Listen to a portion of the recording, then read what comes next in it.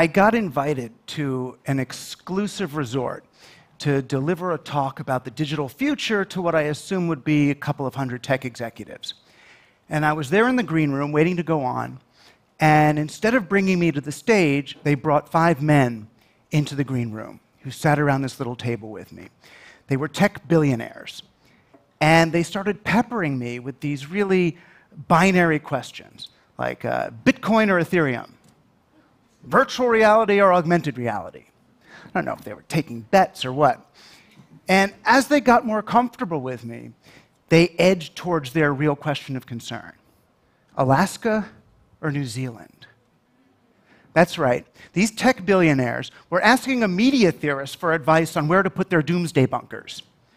We spent the rest of the hour on the single question how do I maintain control of my security staff after the event?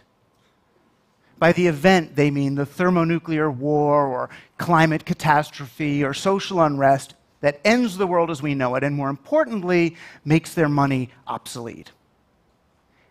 And I couldn't help but think these are the wealthiest, most powerful men in the world, yet they see themselves as utterly powerless to influence the future. The best they can do is hang on for the inevitable catastrophe and then use their technology and money to get away from the rest of us. And these are the winners of the digital economy. the digital renaissance was about the, the unbridled potential of the collective human imagination. It spanned everything from chaos math and quantum physics to fantasy role playing and the Gaia hypothesis. Right? We believed that human beings connected could create any future we could imagine. And then came the dot com boom. And the digital future became stock futures. And we used all that energy of the digital age to pump steroids into the already dying NASDAQ stock exchange. The tech magazines told us a tsunami was coming. And only the investors who hired the best scenario planners and futurists would be able to survive the wave. And so the future changed from this thing we create together in the present to something we bet on in some kind of a zero sum, winner takes all competition. And when things get that competitive about the future, humans are no longer valued for our creativity. No, now we're just valued for our data because they can use the data to make predictions. Creativity, if anything, that creates noise. That makes it harder to predict. So we ended up with a digital landscape that really repressed creativity, repressed novelty, it repressed what makes us most human. We ended up with social media. Does social media really connect people in new, interesting ways?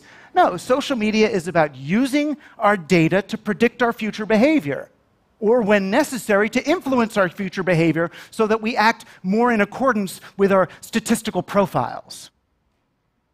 The digital economy, does it like people? No. If you have a business plan, what are you supposed to do? Get rid of all the people. Human beings, they want health care, they want money, they want meaning. You can't scale with people. Even our digital apps, they don't help us form any rapport or solidarity. I mean, where's the button on the ride hailing app for the drivers to talk to one, each, to talk to one another about their working conditions or to unionize? Even our video conferencing tools, they don't allow us to establish real rapport. However good the resolution of the video, you still can't see if somebody's irises are opening to really take you in. All of the things that we've done to establish rapport that we've developed over hundreds of thousands of years of evolution, they don't work. You can't see if someone's breath is syncing up with yours. You know, so the mirror neurons never fire, the oxytocin never goes through your body. You never have that experience of bonding with the other human being. And instead, you're left like, well, they agreed with me, but did they really? Did they really get me? And we don't, we don't blame the technology for that lack of fidelity, we blame the other person. Know, even the technologies and the digital initiatives that we have to promote humans are intensely anti human at the core. You know, think about the, the blockchain. The blockchain is here to help us have a great humanized economy? No. The blockchain does not engender trust between users. The blockchain simply substitutes for trust in a new, even less transparent way. Or the code movement. I mean, education is great. We love education, and it's a wonderful idea that we want kids to be able to get jobs in the digital future, so we'll teach them code now. But since when is education about getting jobs? Education wasn't about getting jobs. Educa- education was compensation for a job well done. The idea of public education was for coal miners who would work in the coal mines all day. Then they'd come home and they should have the dignity to be able to read a novel and understand it, or the intelligence to be able to participate in democracy. When we make it an extension of the job, what are we really doing? We're just letting corporations really uh, uh, externalize the cost of training their workers. No, and the worst of all, really, is, is, the humane technology movement. I mean, I love these guys, the former guys who used to take the, the, the, the, algorithms from Las Vegas slot machines and put them in our social media feeds so that we get addicted. Now they've seen the error of their ways and they want to make technology more humane. But when I hear the expression humane technology, I think about cage free chickens or something. We're going to be as humane as possible to them until we take them to the slaughter. You know, so now they're going to let these technologies be as humane as possible as long as they extract enough data and extract enough money from us to please their shareholders. Now, meanwhile, the shareholders, for their part, they're just thinking, I need to earn enough money now so I can insulate myself from the world that I'm creating by earning money in this way. You know, no matter how many VR goggles they, they slap on their faces and whatever fantasy world they go into, they can't externalize the slavery and pollution that was caused through the manufacture of the very device. It reminds me of, of Thomas Jefferson's dumbwaiter. You know, we like to think that he made the dumbwaiter in order to spare his slaves all that labor of carrying the food up to the dining room for the people to eat. That's not what it was for. It wasn't for the slaves. It was for Thomas Jefferson and his dinner guests, so they didn't have to see the slave bringing the food up. The food just arrived magically, like it was coming out of a, a Star Trek replicator. It's part of an ethos that says human beings are the problem and technology is the solution. We can't think that way anymore. We have to stop using technology to optimize human beings for the market and, stop, and start optimizing technology for the human future. But that's a really hard argument to make these days because humans are not popular beings. I talked about this in front of an environmentalist just the other day, and she said, Why are you defending humans? Humans destroyed the planet. They deserve to go extinct. Even our popular media hates humans. I mean, watch television. All the sci fi shows are about how robots are better than nicer than people. Even zombie shows. What is every zombie show about? Some person looking at the horizon at some zombie going by, and they zoom in on the person, and you see the person's face, and you know what they're thinking.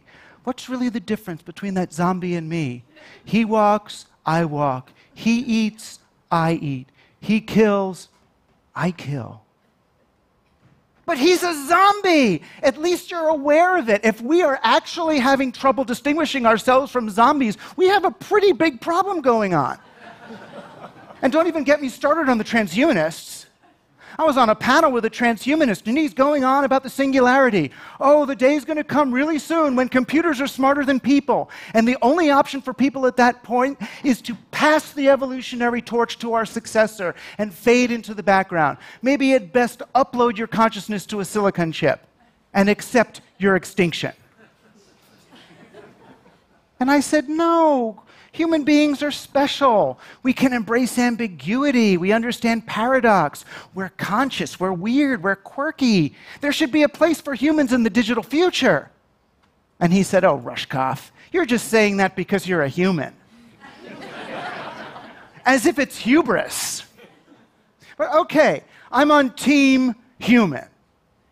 Now, that was the original insight of the digital age that being human is a team sport. Evolution's a collaborative act. Even the trees in the forest, they're not all in competition with each other. They're connected with a vast network of roots and, and mushrooms that let them communicate with one another and pass nutrients back and forth. If human beings are the most evolved species, it's because we have the most evolved ways of collaborating and communicating. We have language, We have technology. It's funny, I used to be the guy who talked about the digital future for people who hadn't yet experienced anything digital. And now I feel like I'm the last guy who remembers what life was like before digital technology. It's not a matter of rejecting the digital or rejecting the technological. It's a matter of retrieving the values that we're in danger of leaving behind and then embedding them in the digital infrastructure for the future. And that's not rocket science. That's as simple as making a social network that instead of teaching us to see people as adversaries, it teaches us to see our adversaries as people.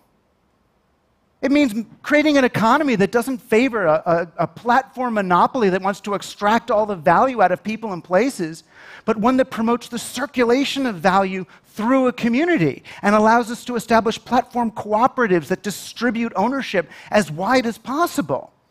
It means building platforms that don't repress our creativity and novelty in the name of prediction, but actually promote creativity and novelty so that we can come up with some of the solutions to actually get ourselves out of the mess that we're in.